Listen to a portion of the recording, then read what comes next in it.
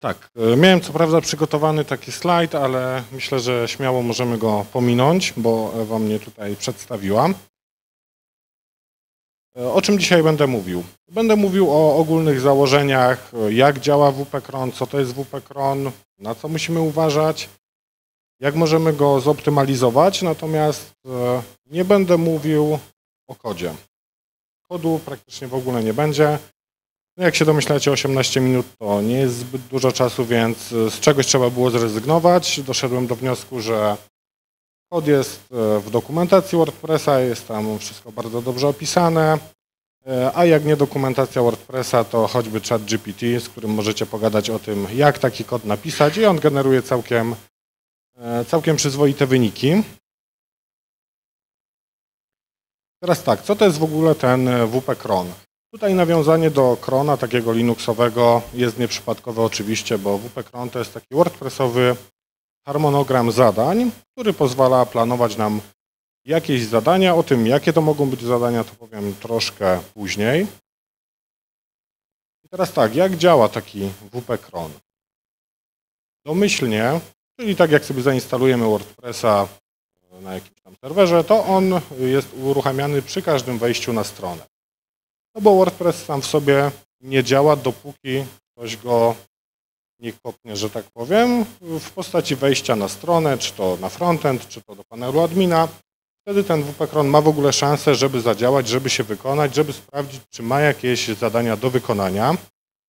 Jest on oparty o akcję WordPressowej. Jeśli pisaliście kiedyś jakąś wtyczkę bądź motyw, to pewnie korzystaliście z hooków WordPressowych i ten WP-Cron tak naprawdę uruchamia jakąś tam akcję i pod tą akcję podpinamy sobie kod, który robi coś dla nas.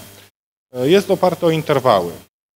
Mamy kilka, w zasadzie dwa typy zadań, czyli zadania cykliczne i zadania jednorazowe. Jeszcze troszkę później będę o nich e, mówił szerzej. E, I te zadania cykliczne wykonują się w jakichś określonych interwałach, czyli mamy zadanie, które się wykonuje przykładowo codziennie czy tam e, co tydzień. Ale niestety jest tutaj e, kilka pułapek, e, z którymi musimy się liczyć, jeśli planujemy użyć tego WP-Crona do jakichś, powiedzmy, odpowiedzialnych zadań. Po pierwsze, ten WP-Cron jest e, nieprecyzyjny. WP-Cron to jest trochę taki deweloper, który estymuje taski, nie? Jak on mówi, że ten task będzie zrobiony za 3 godziny, no to będzie może za 3, może za 3,5, może za 4, a może następnego dnia. I dokładnie tak działa WP-Cron w takiej domyślnej postaci, ponieważ no jest on uruchamiany tylko wtedy, gdy mamy jakikolwiek ruch na stronie. Jeśli nie mamy tego ruchu, to dany task, dane zadanie z WP-Crona zostanie wykonane w pierwszym wejściu e, jakiegoś człowieka, bota, czegokolwiek na stronę, czyli te zadania wykonują się na zasadzie takiej że nie wcześniej niż ta data, ale nie możemy zakładać, że jeśli zakolejkujemy sobie zadanie na godzinę 12.00, to że o 12.00 ono zostanie wykonane. Ono w końcu zostanie wykonane, ale może się przesunąć troszkę. Może znacząco zwolnić stronę, e, dlatego że jeśli mamy go podpiętego w takim domyślnym trybie pod wywołania e, WordPressa, to jeśli mamy jakieś bardziej absorbujące zadanie, no to po prostu podczas wykonywania tego zadania możemy zaobserwować taki efekt, że strona nam się będzie ładowała trochę dłużej i możemy też wpaść w jakieś limity serwera. E, tu mówię o takich szczególnych przypadkach, gdy mamy jakieś zadanie, przykładowo jakaś synchronizacja e, produktów, czy wysyłka maili w ilości powiedzmy, nie wiem, 100, 200, 300, no to możemy wysycić limity czasowe serwera i w tym momencie E, po prostu to zadanie się nie zakończy, bo serwer kończy proces, e, jeśli na przykład osiągniemy limit 30 sekund, czy, czy jakiś tam inny limit, który e, jest ustawiony na naszym serwerze.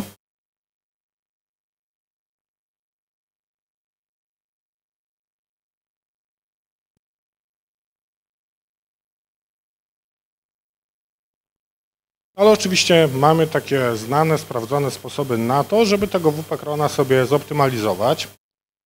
E, I pierwszym krokiem jest wyłączenie w ogóle tego WP-Crona. może nawet nie tyle wyłączenie, to odłączenie go od domyślnego e, wykonywania podczas e, każdej wizyty na stronie. Za pomocą takiej jednej linijki, którą możemy wrzucić sobie do pliku wp-config, odpinamy tego krona od tych domyślnych wywołań strony, czyli w tym momencie nasz kron nie będzie działał. Oczywiście możemy kolejkować te zadania, one tam będą, będą czekały, ale one się nie wykonają, ponieważ odłączyliśmy tego WP krona od wywołań strony.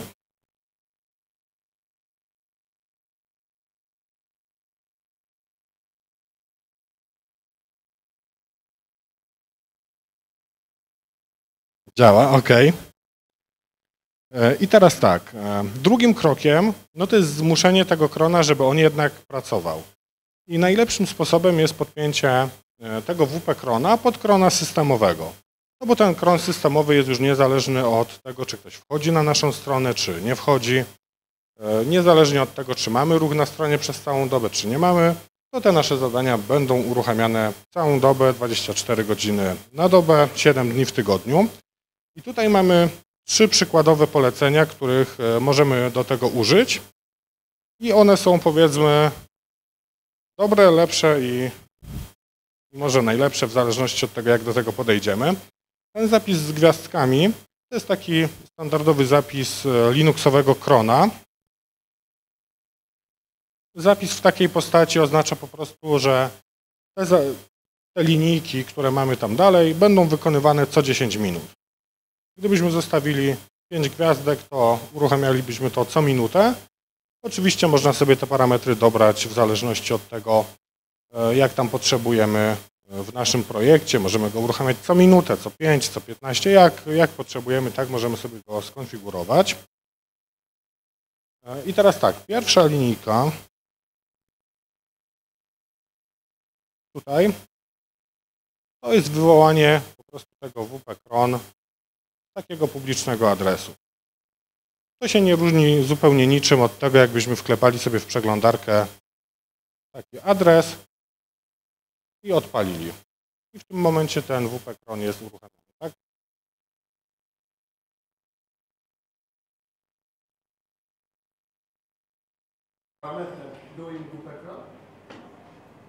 Szczerze mówiąc to nie, bo skopiowałem tą linijkę z e, jakiegoś tutoriala.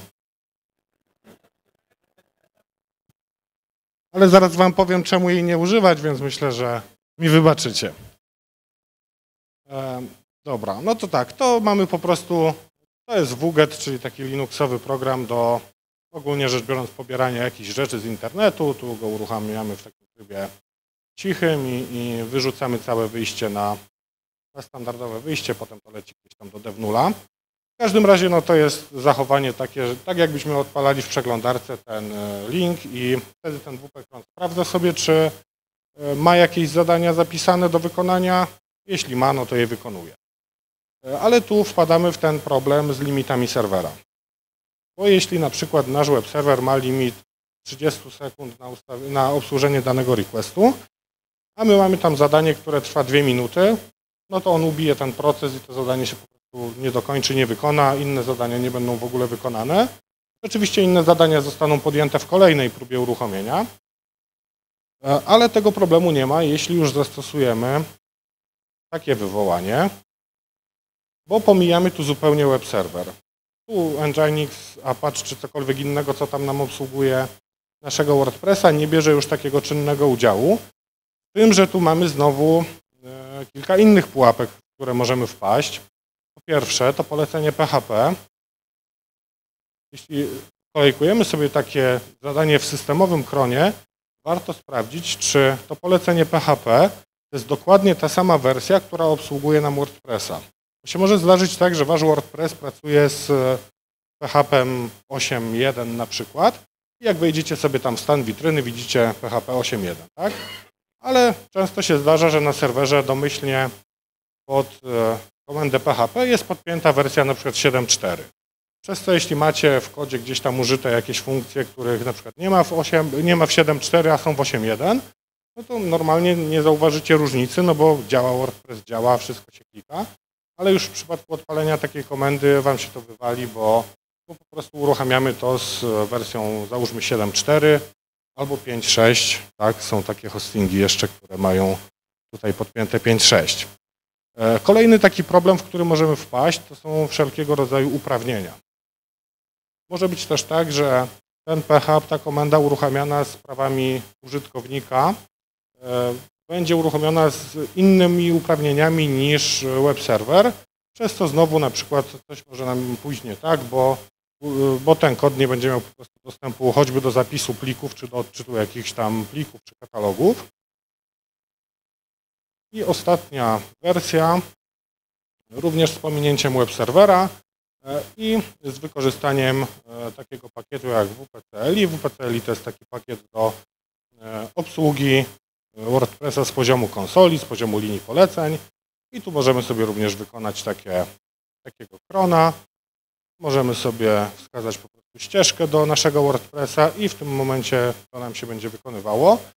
Tu również istnieją te ryzyka, o których mówiłem przy tym drugim poleceniu, że mamy na przykład innego użytkownika, inną wersję PHP, więc warto sobie sprawdzić to przed zdefiniowaniem takich zadań, żeby po prostu potem się nie rozczarować. I po tych dwóch krokach już mamy zapewnione to, że ten kron będzie sobie działał dzień i noc, 7 dni w tygodniu. Proszę następny slajd. Ok, działa. I teraz tak, planujemy zadania. E, oczywiście zwykle robimy to za pomocą jakiegoś kodu, który gdzieś tam w naszej wtyczce planuje nam to zadanie e, i możemy sobie e, zaplanować wykonywanie jakiegoś tam zadania. Tak jak mówiłem już wcześniej, mamy albo takie pojedyncze zadanie, czyli zadanie do wykonania jeden raz w konkretnej dacie, w konkretnej godzinie, przykładowo o 12 E, w poniedziałek któregoś tam maja wykonaj mi jakieś zadanie i o nim zapomnij. I to jest cały cykl życia tego zadania. Zadania cykliczne co jakiś interwał, czyli takie zadania, które wykonujemy na przykład co tydzień w niedzielę. E, I tutaj domyślne interwały, jakie daje nam WordPress, to jest 1 godzina, 12 godzin, 1 dzień i 7 dni. To jest to, co jest e, powiedzmy w standardzie w WordPressie. Natomiast oczywiście możemy sobie te interwały definiować dowolnie, od takich bardzo krótkich rzędu, nie wiem, minuty, dwóch, pięciu, dziesięciu po interwały typu rok. I wtedy te zadania będą wykonywane z właśnie takimi interwałami. I tu po prostu raz zaplanowane zadanie będzie wykonywane w kółko z tym interwałem, dopóki go nie usuniemy z tego WP-krona. Jest to oparte o mechanizm WordPressowych hooków, tak jak powiedziałem, więc de facto w WP-kronie zapisujemy sobie akcję, która ma nam się uruchomić e, i ewentualnie podajemy tam jakieś argumenty dla zadania. O tych argumentach jeszcze powiem troszkę za chwilę. Jeszcze coś takiego jak zadanie pozornie cykliczne. Powiedzcie mi, jak byście podeszli do takiego zadania? Niby proste, nie? Ktoś ma pomysł?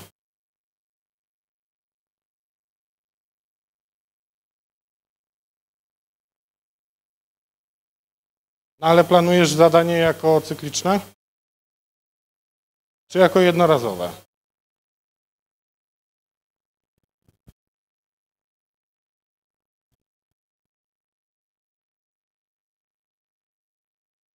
No jest to jakiś pomysł.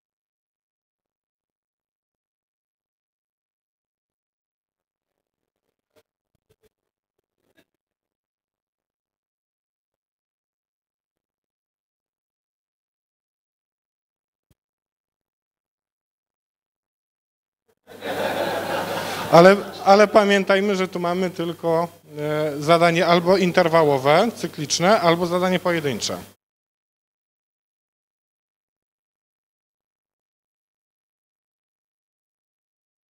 Dokładnie tak i to jest dobra odpowiedź. Robimy pojedyncze, pojedyncze zadanie w WP-kronie, ustawiamy je na ostatni dzień miesiąca. Podczas wykonywania tego zadania, jako na przykład tam ostatnia operacja, Generujemy sobie datę, dobra, daj mi datę końca przyszłego miesiąca i ponownie ustawiamy zadanie pojedyncze. Czyli jedno zadanie ustawia nam drugie podczas wykonania i tak w kółko i w ten sposób obchodzimy te wszystkie problemy typu 28 dni w lutym, 30 dni, 31 i tak dalej. A wszelkie inne e, zadania typu na przykład właśnie co tydzień, no to jest prosto, bo zawsze w tygodniu mamy 7 dni, nie? więc możemy skorzystać z tego cyklicznego zadania. Jeszcze dwa słowa na temat takich przydatnych narzędzi, które bardzo się przydają podczas developmentu, podczas testowania tego wszystkiego. Oczywiście WPCLI i komenda WP-cron. Tu możemy sobie podglądać, uruchamiać te zadania. Jeśli testujemy, to nie musimy czekać, aż coś nam się wykona, tylko jedną linijką możemy wykonać dane zadanie. I przykładowo tutaj widzimy, jakie zadania zostały zaprogramowane. Tu mamy hooka, który się wykona. Przykładowo sprawdzenie wersji WordPressa. Tu mamy datę taką w kalendarzu, a tu mamy względny czas, czyli za ile od momentu wykonania tej komendy nam się to wykona.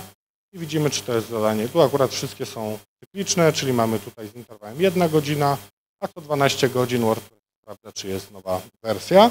Właśnie domyślnie WordPress używa tego WP-Crona choćby do sprawdzania aktualizacji wtyczek, do publikowania zaplanowanych postów e, i tego typu cyklicznych rzeczy.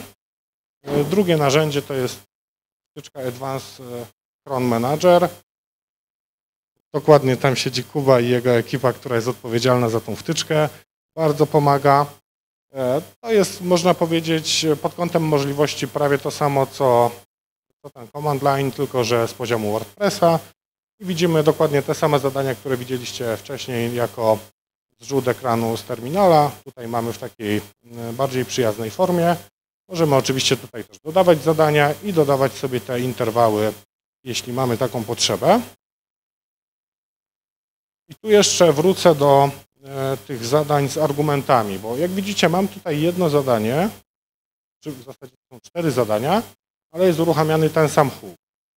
Te wszystkie cztery zadania obsługuje dokładnie ten sam kod, natomiast jego wywołanie jest parametryzowane argumentem. W tym przypadku akurat jako argument jest tutaj ID użytkownika, któremu ma się wygenerować jakaś tam dieta i te zadania są zaplanowane na jakieś tam konkretne daty, więc e, tymi parametrami można też sterować w, sposobem wykonania tego zadania.